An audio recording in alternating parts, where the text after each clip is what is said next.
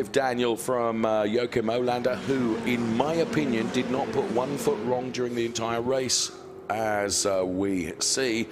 Uh, all the excitement of the final lap and uh, the opportunity potentially to gain uh, uh, positions. Now, let's take a look at this in replay. Jonathan Satchel is out of that there, and that's an unfortunate contact onto the car of uh, Tommy Lindroth, and you can see that car just uh, skating uh, right across the uh, gravel, and that is the car of Tony Davison making impact with the barriers there. So, to be fair, Daniel, coming from that far back, that wasn't going to work, was it?